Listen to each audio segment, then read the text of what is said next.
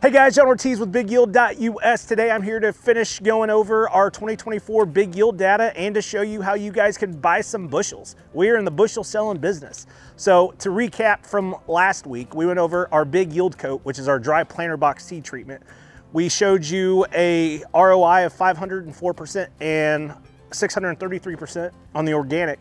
Today we're here going to be talking about some foliar applications. So we're going to go over two of our products, Big Sweet Yield, which is our cold process sweetener, live enzymes, live trace minerals, the whole nine yards. That showed a increase of 785% with an 8.6 bushel yield increase. Again, Big Sweet Yield, 8.6 bushel uh, yield increase. The yield on that was 209.1 bushel, showing a 785 percent ROI. Again, the I had a couple people ask me about what hybrids we use.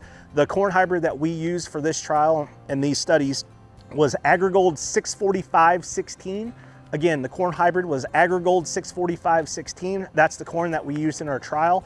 Big sweet yield, foliar application, 8.6 bushel yield increase, 785% ROI. The next product that we applied is our Big Sweet Yield DB.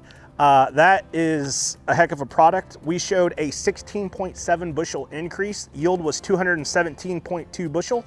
Uh, the ROI on that was 407%.